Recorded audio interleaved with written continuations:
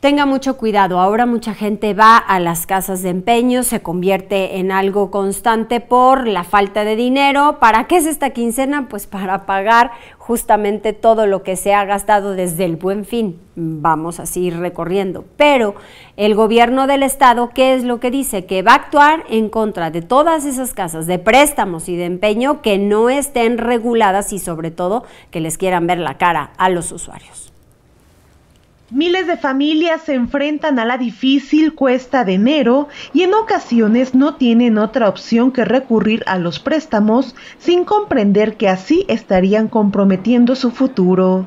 Ante casos de estafas y fraudes, el gobierno de Puebla presentará denuncias contra empresas de préstamos en línea que además practican el terrorismo para cobrar a los clientes.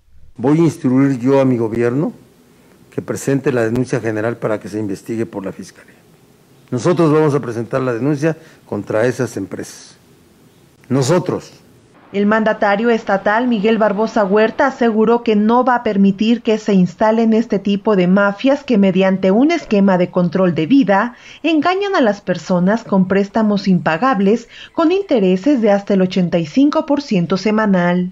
No vamos a dejar que se instalen mafias aquí en el Estado. Vamos a dejar. Se reconoció que este tipo de préstamos son similares al denominado gota a gota que practican algunas personas de origen colombiano y que han sido detenidas por cometer fraudes en diferentes regiones del estado.